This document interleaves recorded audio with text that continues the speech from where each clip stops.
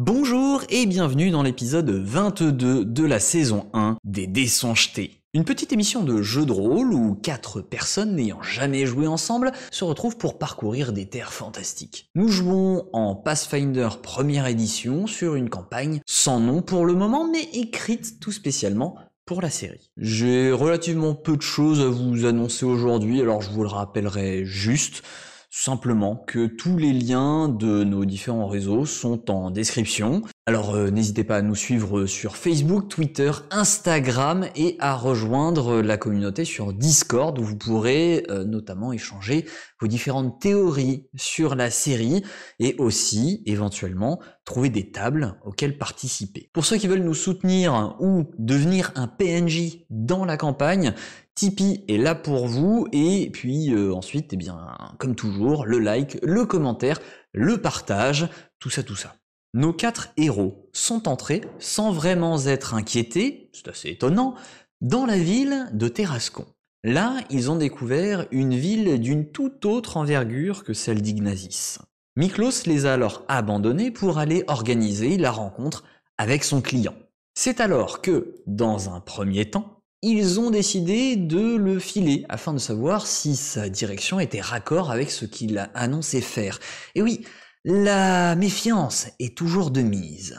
Puis ils ont décidé de se rendre au grand temple d'Éristé, véritable merveille de cette ville, pour enquêter sur les origines de la corne.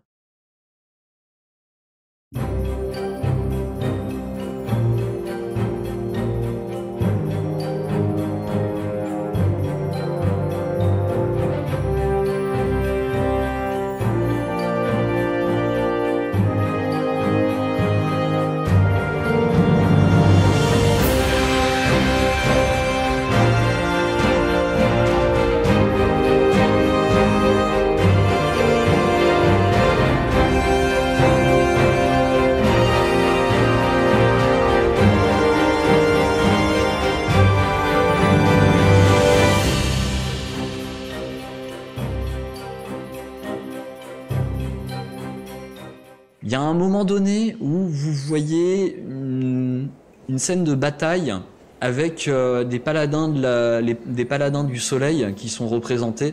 Donc euh, concrètement, vous reconnaissez que c'est des paladins du soleil parce qu'ils ont une armure d'un blanc étincelant avec euh, avec des des, des rayons du soleil représentés sur les sur les épaulettes. Et euh, derrière eux, le soleil évidemment qui irradie le champ de bataille avec euh, avec ses rayons, euh, comme une, une bénédiction de Faerine qui les accompagne au combat. Et euh, la seule chose contre quoi ils se battent effectivement, ils se battent contre euh, des, des, des forces obscures, des forces obscures qui, euh, pour, euh, je, je vous invite à me faire un jet de connaissances religion.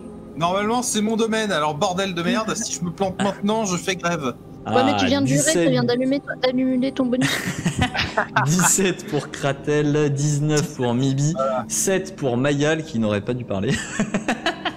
Et euh, Eldebaf, lui, qui fait un jet en allant voir le prêtre de Faerine directement, qui euh, Voilà, je évidemment, euh, fait une réussite là-dessus, puisque c'est Je, ça- je ça te lance laisse- quand même ou... Non, non. C'est pas nécessaire. Alors, euh, Mibi et Kratel, de votre côté, vous vous rappelez qu'il y a eu un conflit majeur au cours du premier âge. Euh, au cours du premier âge, qui a d'ailleurs marqué euh, un, tournant particulier dans le premier âge, avec justement, en fait, un trio de dieux, vous saviez, vous savez plus lesquels exactement, qui ont formé une sorte de triumvirat du mal et qui euh, ont été euh, combattus par les autres dieux et ont été, euh, ont été vaincus. Le prêtre que vous euh, que, que tu interroges de ton côté, Eldebaf, donc te répond. Oh, eh bien, mon enfant, il s'agit de- des forces du mal, des forces du triumvirat, composées de trois dieux que vous connaissez sans doute, mais que nous évitons ici de, de trop mentionner. Des dieux qui n'ont plus leur place au sein de ce temple et ne l'ont jamais eu, puisque le temple a été construit bien après. Euh, ces dieux, c'est Morsvarek, Vorn Sheog et Goltaras. Je noterai qu'ils ont bien, ils ont bien insisté sur les G, les R et les K pour. C'est impossible à écrire. Côté Je- méchant. je pour suis en que ça train d'essayer d'écrire. euh, médiéval. C'est ça. Je vois qu'on a les mêmes références, tout va bien. C'est pour mes petites euh, notes, mais je, je, je je n'écris pas beaucoup. Mais, mais là, j'ai essayé d'écrire. Bientôt, on va se faire attaquer par le seigneur Gardakan. C'est ça. Euh, je vous invite à faire un second jet de connaissance religion pour voir si ces Euh. noms vous évoquent quelque chose en particulier. Oui. Peux Alors, si le c'est pas le deuxième cas, je- j'annonce que c'est un scandale hein, quand même. Le deuxième, c'est Vorn Sheog. Ah, je, voilà. je- je vais vous les écrire euh, si vous voulez. Morsvarek, Vorn Sheog Ah, mort. et Goltaras. Eh, j'ai. Alors, nous avons un 26 pour Kratel, très beau jet, félicitations. Un, Il était un 12 pour Eldebaf, euh, un 12 aussi pour Mibi et un 14 pour Mayal. Alors, Eldebaf, Mibi, Mayal, vous, vous allez essayer de creuser dans vos cours de théologie que vous avez eu à l'école il y a très très très longtemps, si vous avez suivi un cursus scolaire à un moment donné dans votre vie. Et c'est pas gagné, c'est pas gagné parce que euh, de ton côté, toi, euh, Eldebaf, euh, ça s'est généralement plutôt concentré sur le dieu des nains donc euh, à savoir Tran, hein, euh, dieu de la roche, des cristaux, des métaux, et, et tu te dis, ouais, alors, effectivement, il y a peut-être des moments où on l'a vu combattre, mais je sais plus contre qui c'était, donc je vais pas trouver. était bourré. De toute manière, il mettait des mandales à ceux qui, qui étaient pas joasses, et c'était tout. Évidemment, il était bourré euh, pendant ses cours de pendant ses cours de théologie, donc il a pas suivi. Euh, Ah. De leur côté, Mayal et Mibi, de votre côté, vous, vous n'avez pas suffisamment de connaissances sur les dieux, tout simplement. Vous avez... euh, c'est sans doute même peut-être la première fois que vous entendez parler de ces, de, de ces noms que euh, vous n'avez peut-être jamais euh, rencontrés jusque-là. En Ils ont revanche, ils ont l'air sympas. Alors, du coup, t'as as quand même Kratel à côté qui dit euh... Il y il est là. Coup-ci, coup-ça, quoi, on va dire. Euh, alors, ce que tu sais, toi, de ton côté, euh, Kratel, tu sais que Morsvarek, donc c'est vraiment le, euh, le, prince, le prince des ténèbres, prince démon qu'on connaît, qui est un dieu du meurtre et de la cruauté. Alors, ce ne sont que des dieux mineurs, que des dieux nouveaux, comme on les appelle. Euh, Ils ne font pas partie des huit dieux principaux du Panthéon. Ils font partie des dieux qui sont arrivés après, dans le même temps que la civilisation. Donc, euh, dieu du meurtre et de la, cruauté, voilà, donc c'est, tu sais que c'est un culte qui est interdit. Ce sont d'ailleurs trois cultes qui sont interdits dans le royaume du cœur. Donc Morsvarek, qui est généralement représenté par, euh, comme, comme un démon, et qui était un des servants de Cruz, initialement. Mais qui, par les affres des, du, de l'enfer euh, dont il avait la charge, a fini par, euh, par tourner chèvre un peu, on va dire. Euh, donc à savoir que lui, il était en charge initialement du, de, l'enfer que l'on appelle le purgatoire, donc qui est l'enfer où les âmes initialement en fait n'en ressortent plus. Ce sont les âmes qui ont fait beaucoup trop de mal dans, dans leur vie et qui ne re-rentrent pas dans le cycle des réincarnations.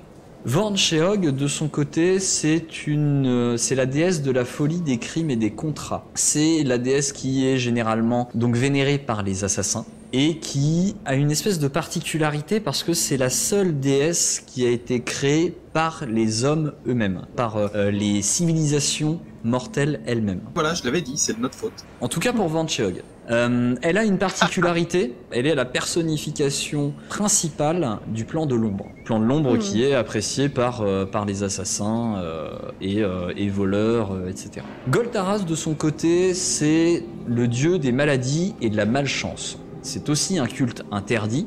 Il est généralement représenté euh, de sorte à ce que euh, à ses pieds il y ait euh, foule de, pièces d'or, de couronnes, mais aussi euh, de fourches, d'outils du, commun. Beaucoup d'attributs pour montrer que en fait dans son action il n'a que faire du statut des personnes euh, dont il s'occupe, puisque les maladies et la malchance peuvent toucher tout le monde. Donc c'est un dieu qui est absolument chaotique et qui du coup euh, répand euh, la peste euh, et pas mal de choses comme ça quoi. Pas mal de joyeuseté.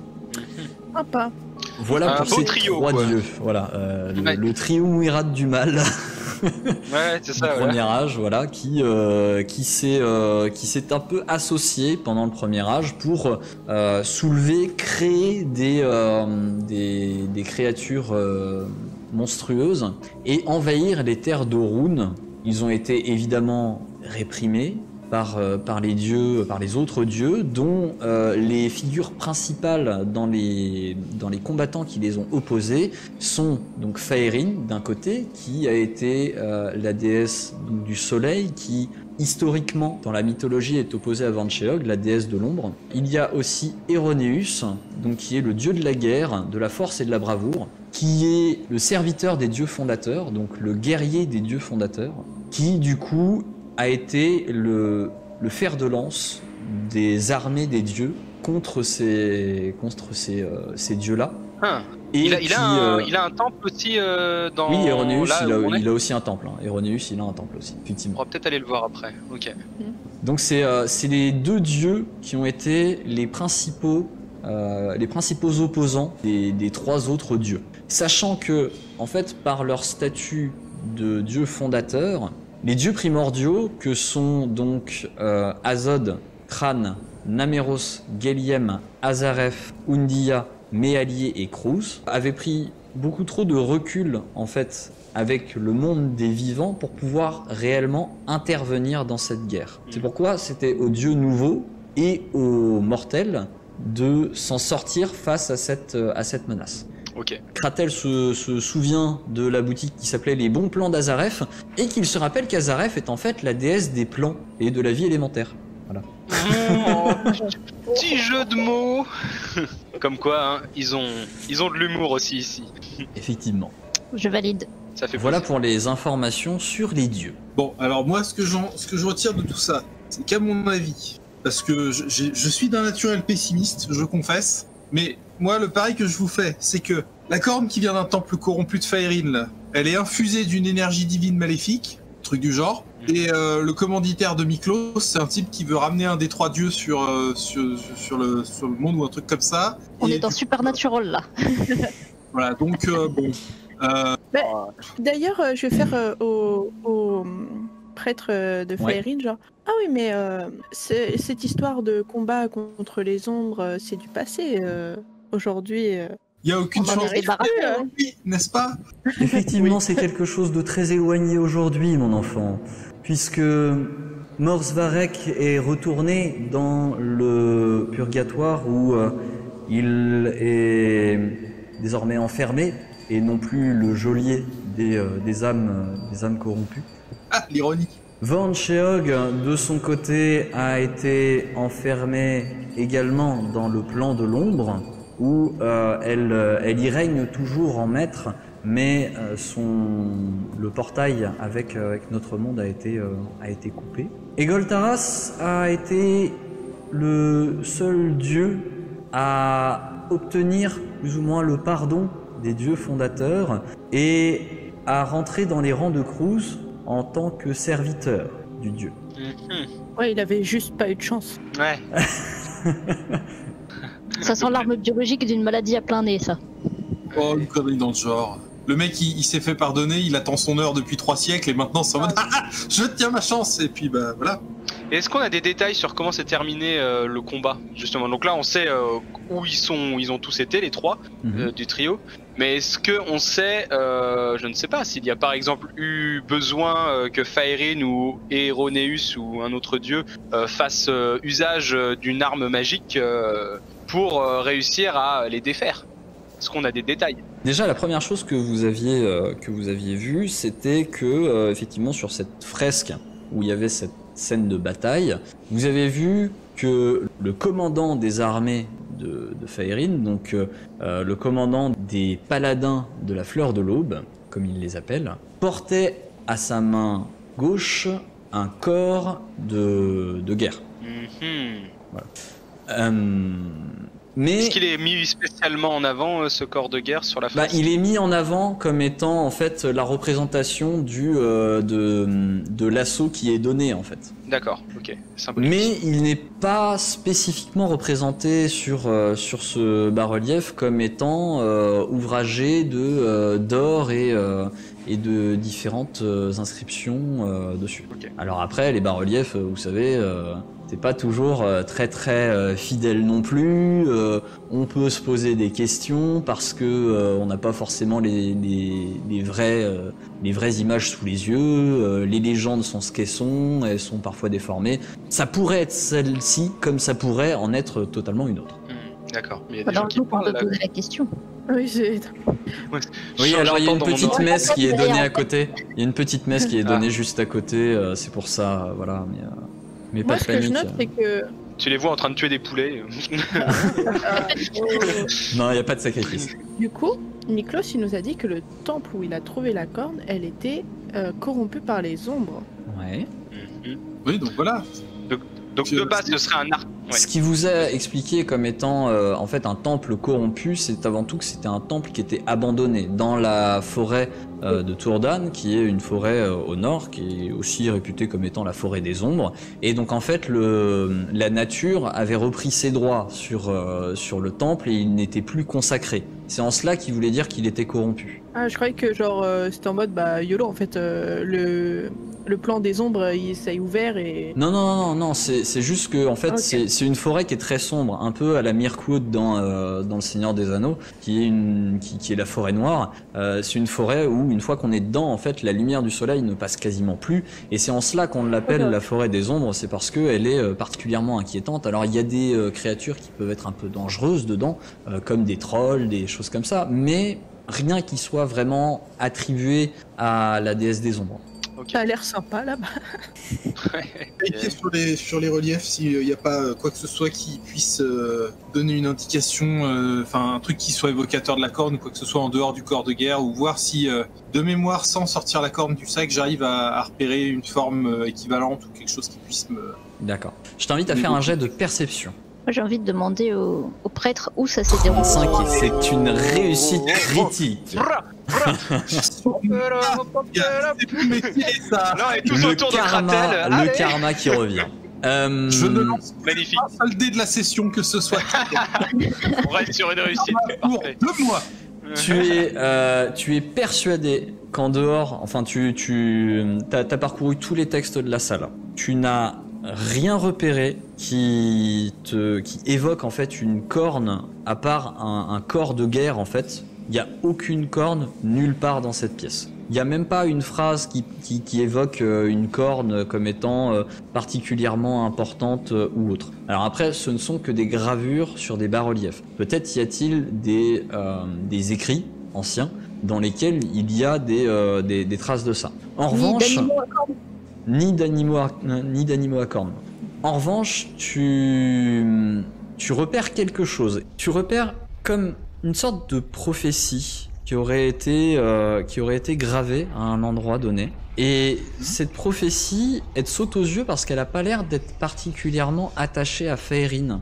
Elle a été gravée là parce que potentiellement peut-être une, une, oracle de Faerine à un moment donné euh, sorti cette prophétie et qu'il fallait la garder en tête, mais elle a l'air d'être complètement détachée du reste de, de, la, de la fresque. Cette prophétie, elle dit Lorsque les trois oisillons, déracinés, assemblés par l'ordre, se seront trouvés, dans leur adversité auront été chahutés et par le chagrin à jamais liés, quand leur chemin verra le ciel clair se dévoiler, son désarroi ne saura les, les épargner et leur destin ils devront assumer. Je vais te l'envoyer en MP. Parce qu'il y a une Mhm. petite particularité qui est que le ciel clair, ce n'est pas clair comme étant la, la, la clarté. Et en fait, toi, tu as quelques notions rapides du premier âge parce que ça a l'air d'avoir été traduit d'une inscription en- du premier âge qui est juste au-dessus. T'as quelques notions parce que c'est une, c'est une langue qui revient très souvent dans la religion. Et, euh, et c'était la langue qui était pratiquée au cours du premier âge, tout simplement.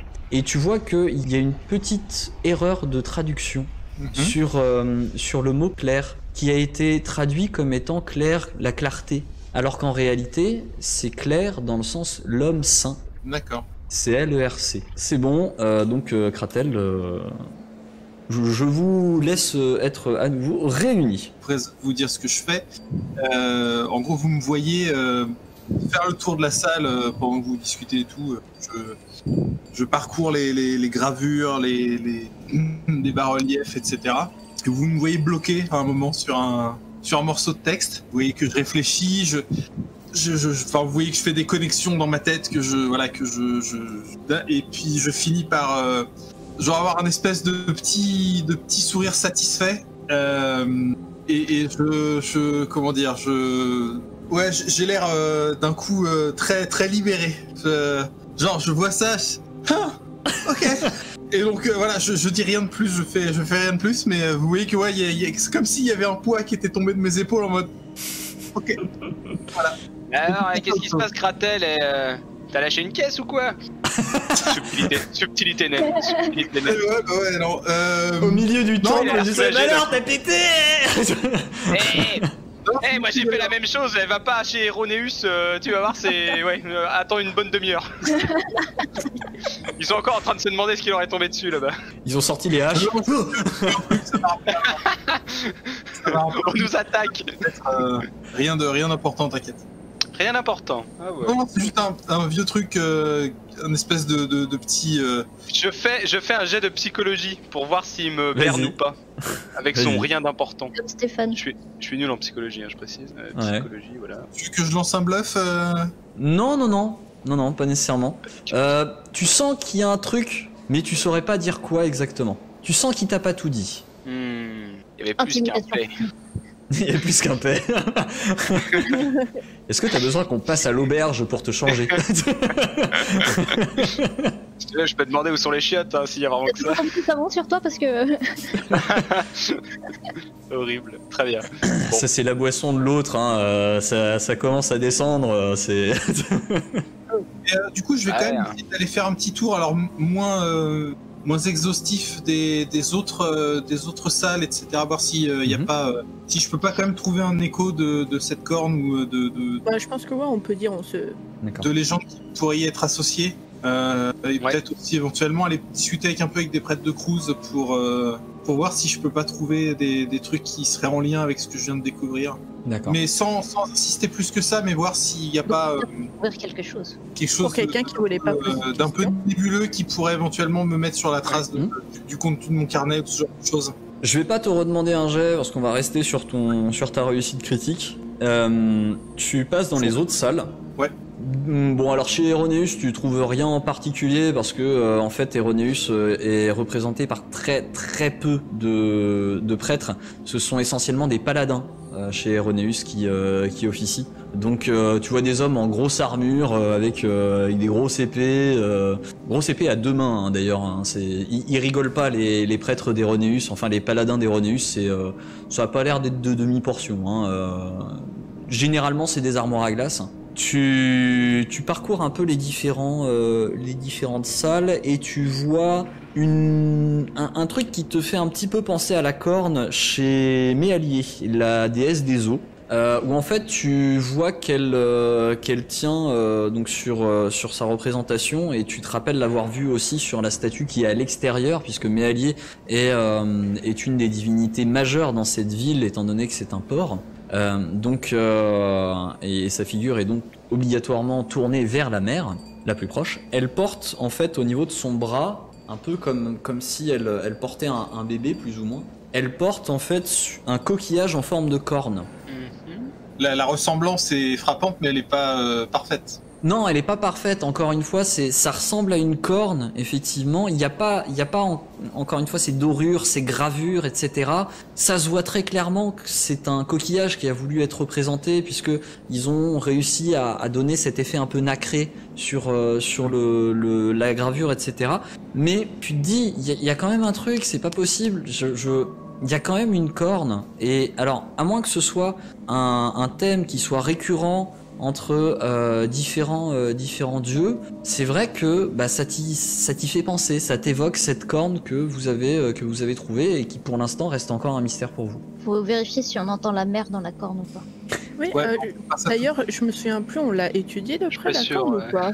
Bah, pas trop, hein. Euh, rapidement en l'apprenant, mais sans plus, je crois. On a vu qu'elle était en vous l'avez vu, mais vous aviez pas plus euh, étudié que ça parce que derrière vous avez été euh, attaqué dans les égouts.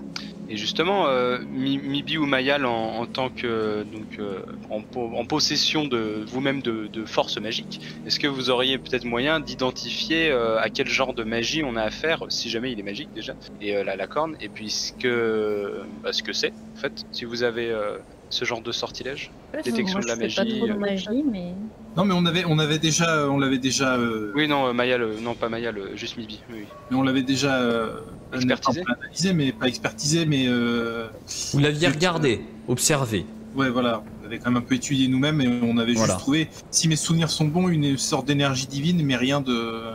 Alors non, vous n'aviez pas regardé l'énergie qu'elle dégageait. En revanche, Non, vous aviez vu qu'il qui y avait, euh, qu'il y avait des les symboles de quasiment tous les dieux du Panthéon sur la corne. Est-ce que c'est une corne qui est fermée au bout? Genre, euh, on peut mettre euh, un liquide dedans ou est-ce qu'on peut souffler dedans et ça fait de la musique? Oui, elle est fermée au bout. Ah mais alors moi je vous dis tout de suite, ce que je pense que c'est en fait, c'est que c'est une prison pour un des, pour euh, pour un dieu, des ombres ou quelque chose comme ça, et si on le file, à, si on le file au commanditaire de Miklos, il va la fracasser par terre et on va ouvrir la Alors, bouche. truc- Ce Voilà. qu'on peut faire, c'est on se retire dans un endroit un peu safe, on l'étudie depuis près et on. Ouais, on va pas faire ça en plein milieu du Oui, je euh, pense. Non, c'est pas la meilleure idée du monde. donc. Ou alors on la lance maintenant. Merde, Allez. c'est de l'or, alors bon, euh, avant, de la, avant de la péter, euh, va quand même falloir euh, C'est un, mou. peu, mat- un peu taper dessus. Ça doit être Oui, un c'est mou, mais ça va pas se briser comme ça, je veux dire, faut, faut y aller au marteau, quoi. C'est je- pas Ou est-ce qu'on a mou. tout ce qu'on voulait dans C'est le c'est, temple euh, c'est- c'est une corne qui est quand même solide, qui, qui est, qui est type corne de bovin. hein, euh. Ouais, c'est c'est un, c'est un alliage. Oui. Non, mais en fait, c'est c'est- elle est vraiment type corne de bovin. Ça ressemble vraiment à une corne de bovin, mais sur laquelle on aurait gravé en or des choses. Ah, elle est pas toute. Ah, Elle est est pas faite en en or. Non, non, elle est pas Ah, moi faite je en croyais or. qu'elle était faite en or. Non, non, elle est pas Hmm. faite en or. Le spécialiste des minerais, il a pas vu ça. C'est un peu léger comme prison, non? Bah, si C'était vraiment une prison. je- Je sais pas, euh, c'est- c'est une hypothèse. la en fait. première vache du coin, a- clac, on lui prend la corne, on fout le dieu dedans. Je pense que ce on sont des gravures en, en- énoxien. Ce genre de truc, c'est que si c'est vrai, j'ai l'air super intelligent. Si c'est faux, bah au moins j'ai essayé, tu vois. On, on Ouais. a encore le temps là d'aller. euh. Pardon, tu disais mieux. On a encore le temps là d'aller euh, quelque part. euh, Alors, avec vos recherches, là, vous vous approchez de l'heure de 4 heures, mais vous y êtes pas encore. Il doit vous rester encore une heure. Bah, euh, on ressort du temple, on. Je sais pas, on va dans une ruelle ou un coin euh, où c'est pas trop passant. On prend une chambre et puis euh, on regarde dans la chambre. Ou directement, c'est ça, ou. euh, comment ça s'appelait? Oui, parce que de toute façon, il va falloir qu'on aille à l'auberge pour ce soir, donc. euh, À Quark. On est pété de thunes, on peut, on, peut, on peut se permettre le luxe de faire chambre de luxe. On a qu'à faire Chez Quark. plein jour, suspect. Et euh, juste avant de partir, moi je fais une petite prière à Train également. Tran. Que, euh, mon... Train. Tran, pardon. Non, tu- sinon tu prends le train. Mais euh, Je suis fan, je suis fan. Je, je- je suis fan des transports, euh, vapeur, tout ça, c'est assez nain. et du coup, vous le voyez en train de faire sa prière et qui est en train de faire tchou tchou tchou tchou tchou. Donc, euh, ok, prie à tu- la place de l'encens, tu sais, c'est un petit charbon. Tu pries, tu pries à Tran, euh, Tran du coup qui, euh, qui t'accorde sa bénédiction et qui te donne un, un bonus donc euh, temporaire de, de vigueur. T'as une, t'as un bonus de vigueur de plus 1 temporaire de, de 24 heures. Je me le note, ça marche. Euh, moi non. Mibi, elle a pas spécialement de dieu qu'elle qu'elle vénère. hein. Non, non. Et je cherchais une connerie à faire, mais. Euh... mais non. Je piquais la corde qui est sur la statue. Ah merde, elle fait J'ai partie de la Pas en statue. religion. J'ai pas encore récupéré une nouvelle cuillère à laisser dans un endroit. euh, Ah merde. Ah, tu euh, voulais Alors. pas commencer le culte de la cuillère Bah, j'ai plus de cuillère. Mais oui, c'est vrai, c'était notre, euh, notre signature après un mauvais coup. Vous ressortez du temple et vous prenez. euh, D'ailleurs, vous savez pas vers où c'est euh, chez Quark. euh, Il vous a juste dit que c'était une auberge dans le coin, mais vous ne savez pas où c'est. Qu'est-ce que vous faites? C'est pas. Là, je vais On demande notre chemin. Il n'y a pas de pancarte? Non, il y a pas de pancarte. euh, direction chez Quark. non, il y a pas, il y a pas ça. Bah, des fois, dans les villes, il y a des petits panneaux avec les directions Ouais, mais- des lieux Ouais, non, mais là, il y a pas, il y a pas du tout. Euh, vous arrêtez une personne qui, qui passe par là au hasard et vous demandez oui, euh, je cherche l'établissement chez Quark. Alors la première personne, vous, non, je sais pas. Ça devait être un touriste. Hein. euh, concrètement, euh, lui, il avait pas l'air de savoir grand chose. Vous tombez sur une autre Putain, personne qui, euh, qui a l'air un petit peu choquée quand elle vous dit euh, chez Quark. Ah non, oh, oh, non, je ne sais pas où est cet endroit. Non, absolument pas. Et qui se barre comme ça. Euh, et une troisième personne qui daigne enfin vous montrer le chemin en vous disant euh, ouais chez Quark. Euh, alors il va vous falloir euh, passer par là, là, euh, prendre cette petite ruelle là, Ouais. et euh, du coup, ça va être, euh, vous, vous continuez encore, et ça va être un des bâtiments qui est là. Ah, L'entrée, l'entrée est dans cette rue. Voilà. euh, Ok, je- c'est un, c'est un bon établissement, euh, mon brave? Il vous, il vous a dessiné ça par terre dans, la, dans, dans le sable un peu pour vous montrer la, la direction. Un bon établissement? vous ferez vo- votre avis vous-même.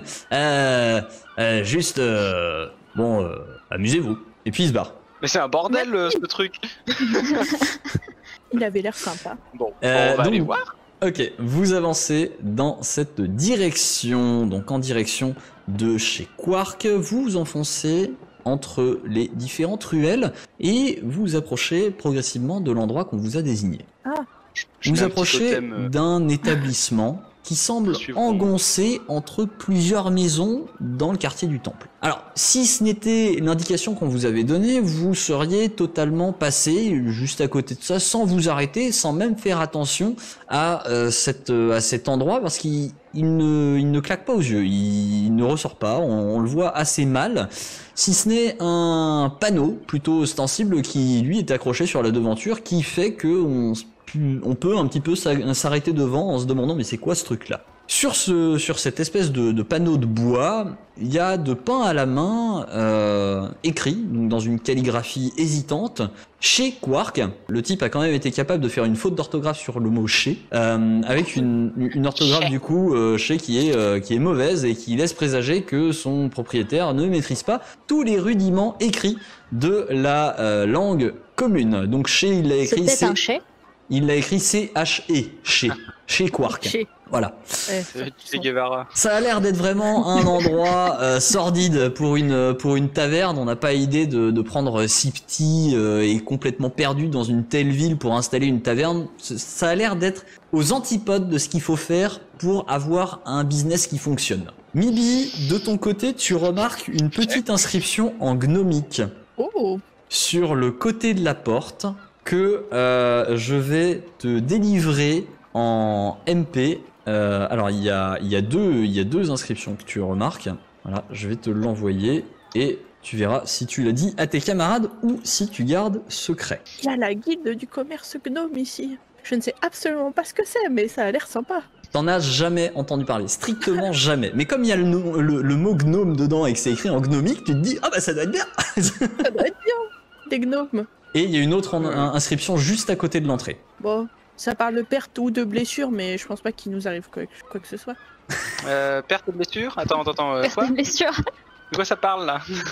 C'est peut-être euh, si on se coupe avec un couteau ou euh, qu'on se blesse avec une cuillère euh, Mhm, mhm, Ou qu'on se fait suriner euh, dans le noir. ou Oui. qui perdent une cuillère, on sait pas. hein. Qui perd une cuillère. Bon, ça parle de cuillère ou euh, Ça raconte peut-être notre thème. histoire de la cuillère, euh, Egnesis.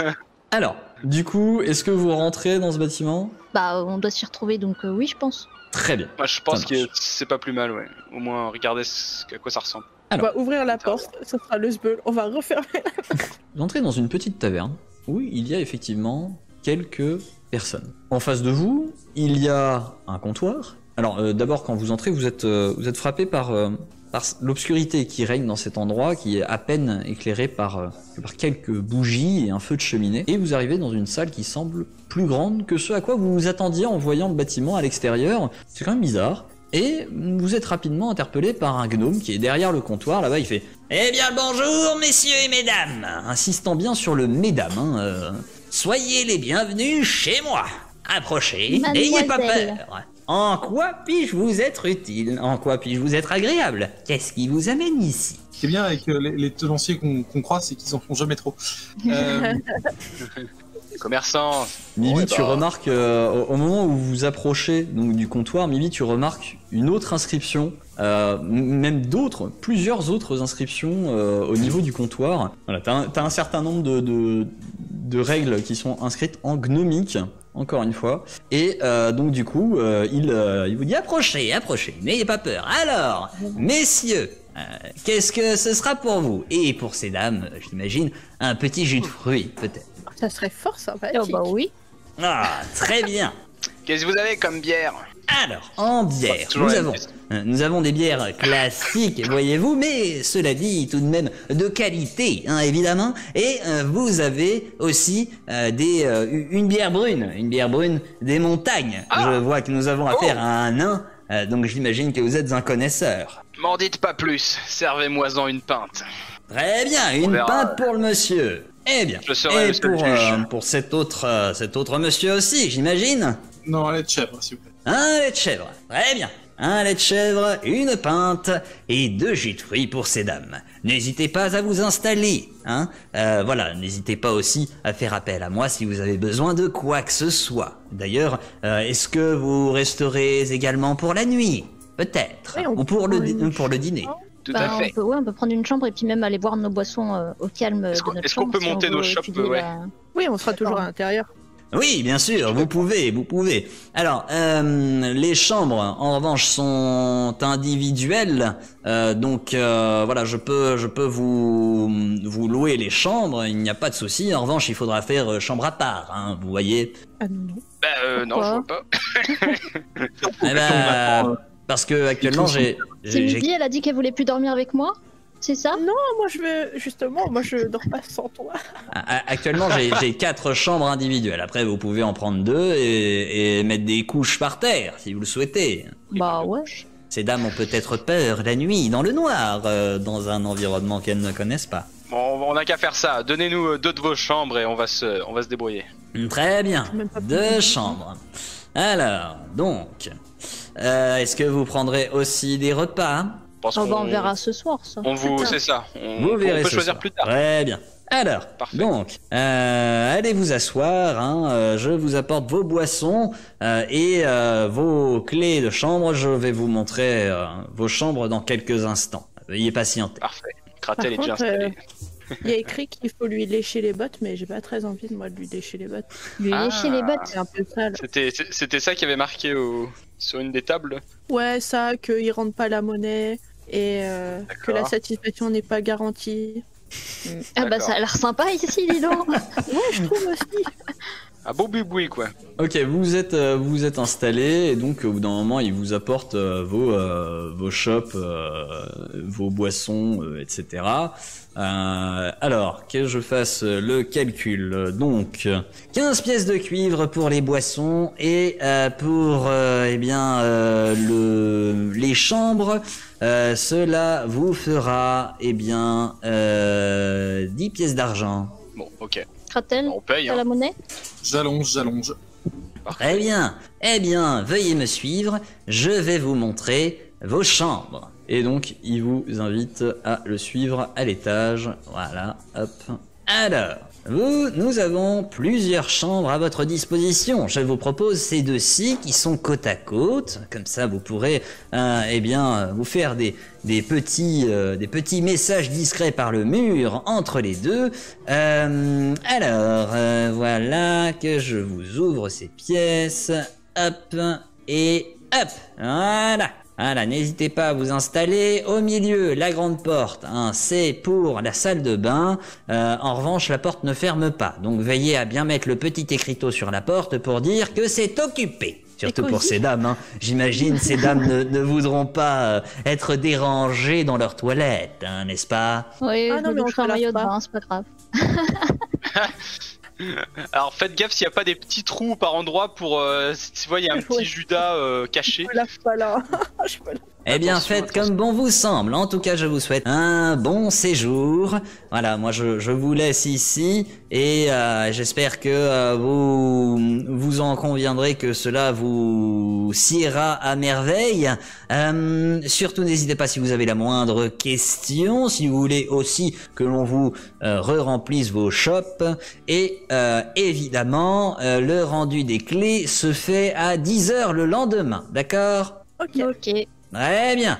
Eh bien, bon séjour parmi nous. Ah, euh, euh, tenez aussi, Merci. petite brochure euh, supplémentaire, vu que vous n'êtes pas humain, euh, je me permets de vous glisser cela, cela pourrait vous intéresser. Et il vous donne du coup un petit papier, et euh, juste après, il retourne à sa salle en bas. Un petit papier? Ouais. C'est c'est quoi le rapport avec le fait qu'on soit humain ou pas? En Bah, Je pense que c'est lié à la guilde euh, peut-être des gnomes. Li- lisez le papier, vous saurez. Parce que j'ai envie de dire, il y a sûrement quelque chose d'intéressant sur ce papier. On Donc- va s'entasser dans la... Je vais sur lui, tiens, hop.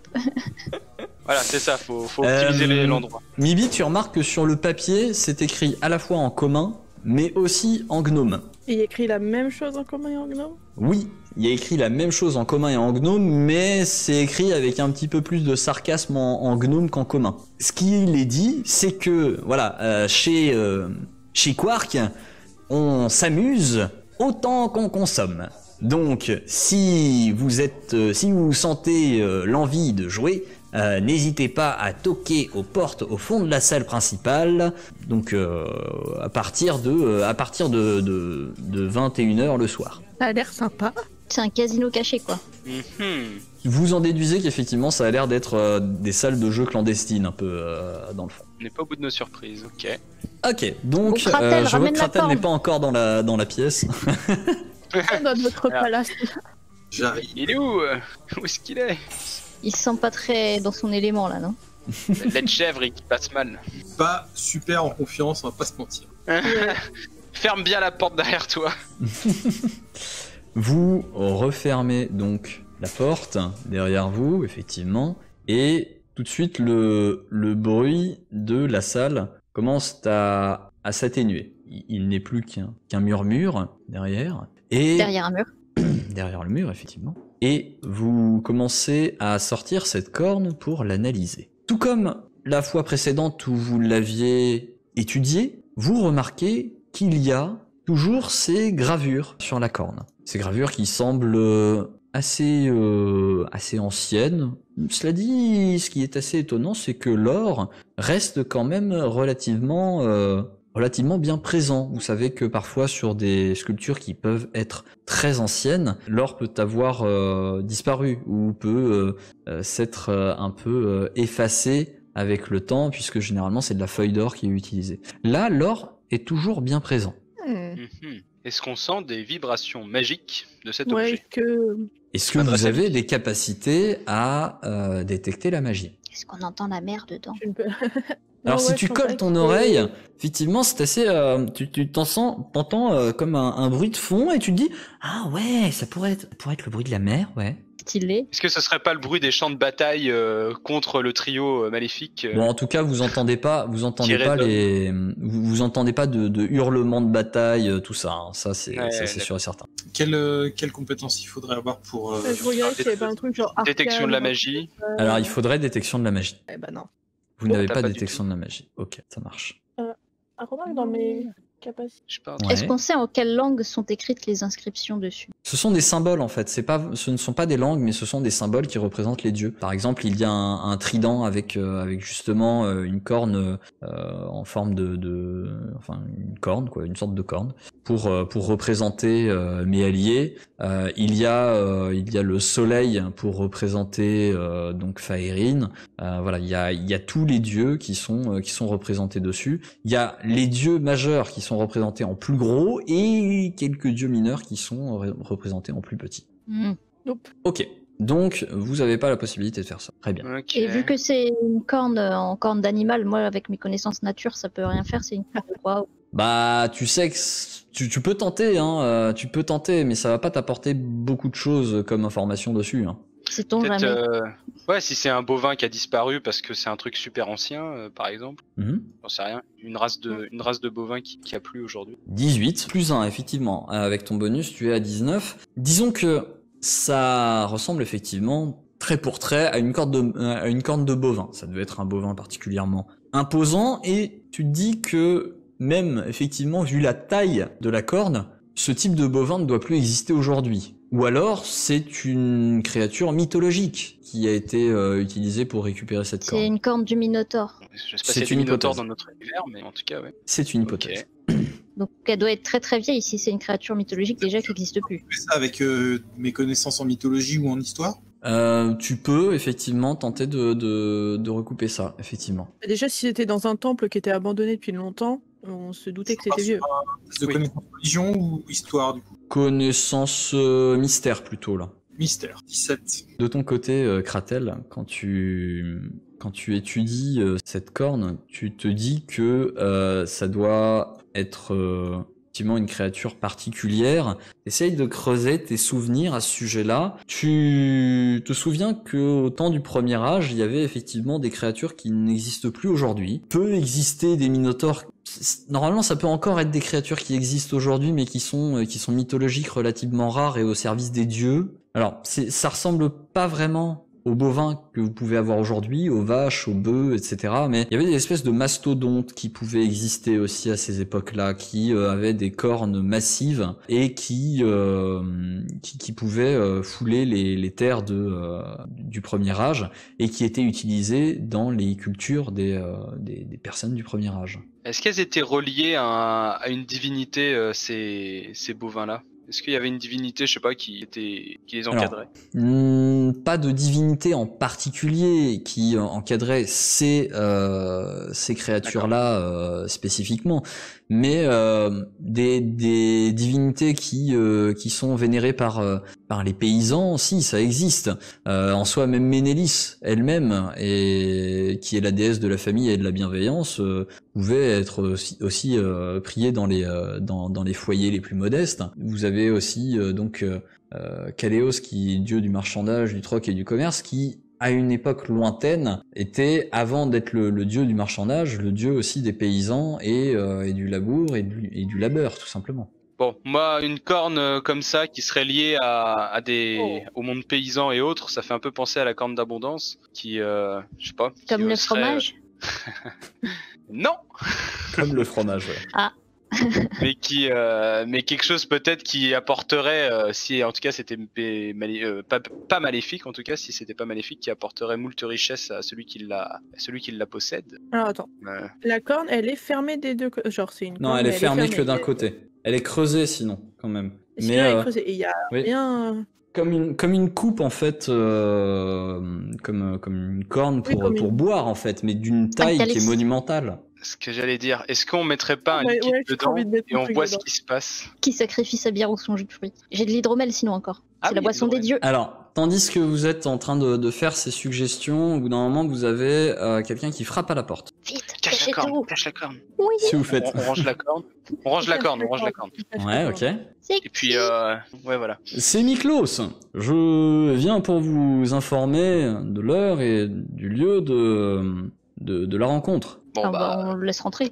bah. Ouais, bon, Ça va être un peu serré au bout d'un moment. Bah, tant pis, c'est pas grave. C'est pas grave, allez, Ah on va se oui, faire euh, petit. on effectivement, se, on se tasse. c'est pas bien grand. Hein, euh, Excusez-moi, Kratel, euh, pouvez-vous faire un petit peu de place? Je, je, je prendrai sinon le, le petit tabouret sur la droite. Hein, euh, où vous le prenez Voilà, très bien, super. Hop. Euh, Est-ce que vous désirez sur la que plante, elle de bas. je, je- pose sur je- la plante. je vais, je vais peut-être refermer la porte à ce moment-là, si. Si vous souhaitez Oui. garder euh, la tranquillité de ce lieu. euh. Ouais, disons fait. que vous n'avez pas choisi l'endroit le plus tranquille. Hein. Bah, euh, en fait, euh, initialement, disons que c'est un endroit que les personnes non humaines aiment euh, fréquenter et qui du coup font que les personnes humaines euh, tendent à ne pas trop euh, s'en occuper, pas trop s'y intéresser. Donc je me suis dit que vous seriez plus tranquille, plus inaperçu à cet endroit-là. Donc, euh, donc voilà, hein, je, je sais pas si vous aviez remarqué, mais dans la salle, il y a des elfes, des alphelins, des gnomes. On n'a même Bien pas sûr, on demandé. avait remarqué. Voilà. Euh, alors, je j'ai oublié de vous préciser. Euh, ah, oui, c'est c'est un petit peu embêtant. Bon, j'imagine que vous avez déjà payé. Bah Ah oui. oui. on nous a demandé. Ah, de vous payer, aviez réservé euh, peut-être des chambres? Non, non, non, c'est pas ça. J'ai oublié de vous préciser, d'éviter de commander ici. Quark est pas vraiment réputé pour son honnêteté envers les nouveaux arrivants. Et bon, c'est un fief et menteur. Euh, voilà, faut, faut, faut qu'on se le dise. Euh, bon, ce- cela dit, euh, au moins, rares sont les oreilles indiscrètes ici, puisque euh, les gens qui ont l'habitude, euh, soit négocient fortement parce qu'ils le connaissent bien, soit évitent complètement cet établissement parce qu'ils savent qu'ils vont se faire arnaquer. Bon, euh, vous l'avez goûté votre bière ou pas? Hmm, Oh putain, non, pas encore. Oh my bien. god. Non Attends, Bon, je vous- la sens d'abord. ça, ça a une odeur de bière, mais tu sens qu'elle a sans doute été un peu diluée. Ah l'enculé. ok. Là, je sors le marteau et je vais aller le voir. Hein. C'est pas possible. Non, hein. non, Ça, c'est ça, traîtrise. Ne faites pas d'esclandre, c'est... Alors bon, euh, couper la bière, Je c'est une, pratique... la bière. c'est une pratique généralement qui est, qui est courante, mais ça s'annonce, ça, se dit. euh, et, et bon, euh, il, il vous a poussé à prendre quoi comme bière? Est-ce qu'il vous a poussé à prendre une bière en particulier ou pas? Il m'a parlé de la bière brune. euh, Après, moi, c'est sûr que ça Ah, fait tilt oui. tout de suite, mais ouais, ouais, ouais. Et vous l'avez payé combien? Euh, bah, euh, je connais pas le détail. C'était 15 Rappelle pièces de cuivre euh, pour euh, 15 pièces de cuivre pour l'ensemble de nos consos, donc c'était pas non plus abusé. Ah oui, quand même. Ah, il vous a fait le tarif fort pour la bière. Euh, ok, bon. Oh. Bah euh, ouais. Bon, On c'est peut pas dire qu'on est plein aux as, mais bon, on est plein aux as, quoi.